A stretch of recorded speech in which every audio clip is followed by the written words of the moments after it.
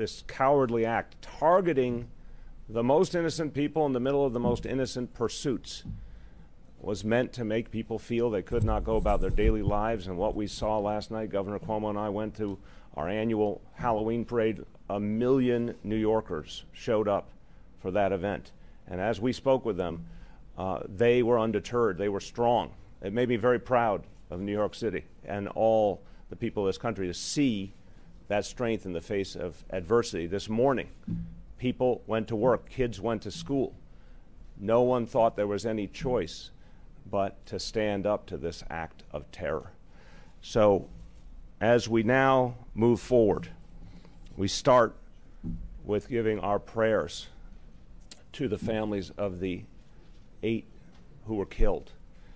They, as you heard, uh, six of them came from other nations here because they saw New York as a special place to be. And we now and forever will consider them New Yorkers.